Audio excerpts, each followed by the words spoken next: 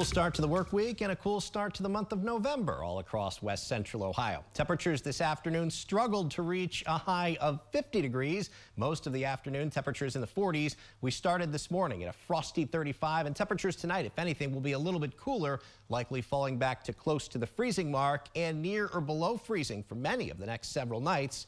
At this point, the growing season is just about done. Live view now along I-75 showing dry pavement, partly cloudy weather. As we move forward through the evening, most of us will stay precipitation free. It's 49 degrees now in Bluffton, 46 as we look to the south in Wapakoneta, 45 degrees now in Minster. It's partly cloudy, some extra clouds out there. We're seeing what's looking to be some precipitation on radar, but as I mentioned earlier, the vast majority of this not reaching the ground because of a very dry, low-level air mass. Still the risk of a spotty sprinkle, but as I pointed out, that still looks to be the exception to the rule. Most of us will stay dry overnight. A storm system is now stationed over eastern Canada. It's a large storm system and it's going to stay nearly stationary over the next several days. As that happens, spokes of energy will rotate around the base of this low pressure trough. And with that, some extra clouds and especially just to our north, the chance of a sprinkle or a flurry over by the Michigan border and into Canada as we'll see a little bit of lake enhancement out that way. But locally, I don't see much of any precipitation aside from just a spotty sprinkle right on through the rest of the work week.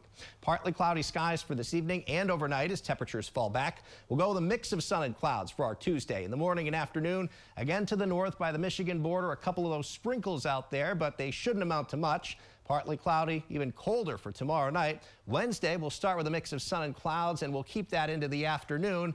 As I pointed out earlier again, still to the north, a couple of those sprinkles around Defiance and toward the Michigan border, but not much of that close to home. 46 degrees in Lima by 9 p.m., 46 degrees in Celina. Later tonight, temperatures fall back to close to the freezing mark under a partly cloudy sky. And then for tomorrow, with that mix of sun and clouds, we're back into the mid to upper 40s. So still chilly into the afternoon, especially in the shade. If anything, tomorrow night temperatures turn colder still and we'll start our Wednesday morning in the upper 20s for portions of our area before climbing back into the 40s Wednesday afternoon. Partly cloudy, cold for tonight as temperatures fall back to the freezing mark. A mix of sun and clouds on the way for tomorrow. A chilly day. There will be a breeze out of the west, occasionally gusting as high as 15 miles per hour. And again, mid to upper 40s for our high.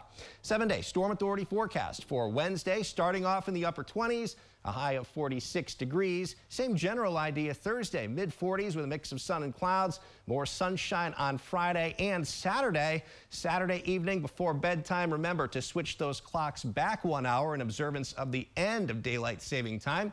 Partly cloudy, a little milder Sunday, and then 60 with a mix of sun and clouds next Monday. Ty.